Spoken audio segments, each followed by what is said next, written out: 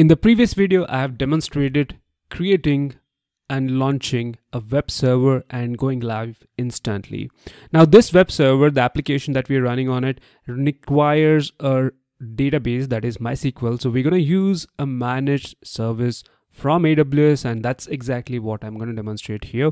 How do you create a database in a completely managed environment with AWS? So I've selected RDS here and then I'm going to pick my database engine out of these six that is MySQL choose the category and the instance size based on what I'm what I require. I'm gonna pick free tier which creates a single instance not high available but it serves my purpose and it I'm able to demonstrate here uh, how do you use a managed service that is. So I would have to pick the master password, uh, confirm it, and then I could pick few other configurations that I want, but this gives me very little customization. I can also choose another option where I could possibly add more configuration using standard options. Instead of quick start, I have selected standard option because that suits me better. I need to control my environment and I'm going to provide few other configuration configurations rather. Uh, and one of the important configuration that I want to make is provide the name of the database. I can also scroll through everything. So as you see here, it is going to get created inside a VPC. So it is secure by default. It is not publicly accessible by default, that is.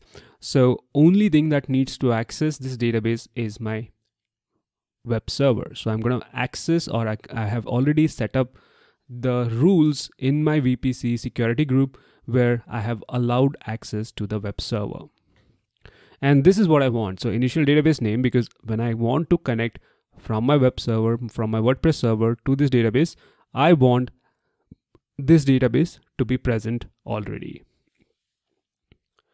And I've selected whatever options that I need. And then I'm going to just click on create database here. Review these options once more. So it's a MySQL latest instance I have provided the credentials, I have uh, provided the database name. There are a lot of defaults which have already been picked up by RDS, which I'm okay with most of those, including the maintenance and backup period and so on. And I just click on create database here. Now, creating a database is going to take some time. So maybe you want to go grab some coffee, um, you know, go around, come back maybe after 10 minutes, and you should find your database being available. And that's what I've done. So I've skipped forward uh, after the database is available, and this is what you see. And the best part about this is we don't have to worry about, oh, how do I install this database? It's already been created. It is already been managed or being managed by AWS Cloud. So the management is completely up to the cloud server or the cloud platform that is. And I have added the security group so that I allow access to my web server by the name of the firewall or the security group itself. Again, we are not getting in depth into AWS features, so uh, I'm not going to explain everything here, but rather I'm just showing you bits and pieces about how the managed service works really. And as you see here, you can browse from here, you get the monitoring right out of the box. This is great because setting up monitoring is another process, another tool that you would have to add to your web server. You are getting logs and events from here. Uh, you can update and view the configurations from here. You can change it later. So without disturbing the data or without losing data, you can upgrade this server to a higher capacity later as well. And the best part is here, the maintenance and backups. So AWS is going to do the maintenance on behalf of you uh, at a particular interval. You can choose that interval as well. So it will automatically upgrade, patch your server, and there is a snapshot or the you know that's backups are being taken automatically. There is a data worth seven days backed up all the time so that you can revert or to a state up to seven days in past anytime. And then there are daily snapshots automated backups and so on and so forth. So this is a completely managed service and this is one example of aws's managed service.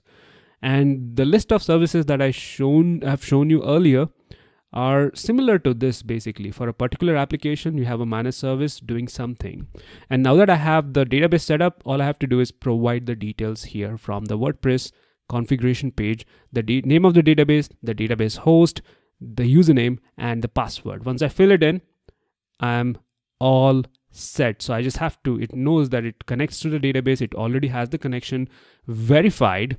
And all I have to do now is run the installation, which sets up rest of my WordPress application.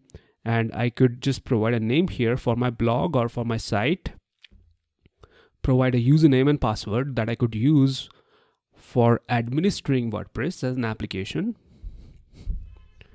and there I go. So I'm just gonna fill in rest of the details and click on install WordPress and I should have my site live and available.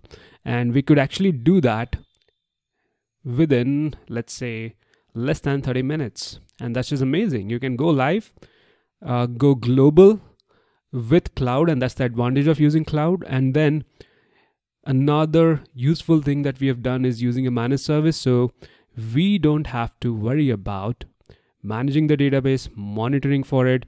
All we have to do is set up the infrastructure, forget about the database management, and focus on the most important thing that is creating, publishing the site here, the data, the content, and uh, maintaining it, maintaining the quality of that basically, right? So, infrastructure is something that you can forget about building, provisioning, and administering it, most of that is done by a cloud platform such as AWS. And that, I would say, is the beauty of cloud.